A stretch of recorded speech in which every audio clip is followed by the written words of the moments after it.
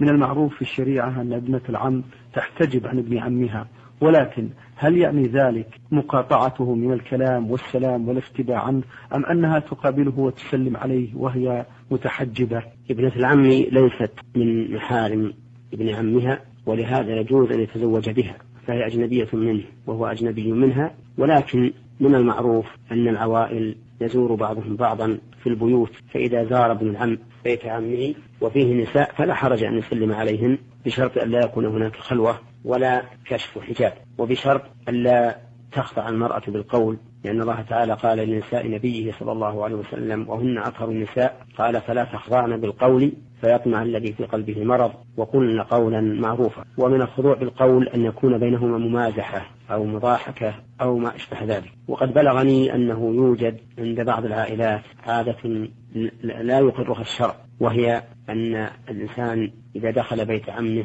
وفيه بنات عمه فإنه يسلم عليهن ويصافحهن وهذا لا يجوز حرام. لأن المصافحة لا شك أنها فتنة وقد وردت أحاديث في التحذير منها نعم. بارك الله فيكم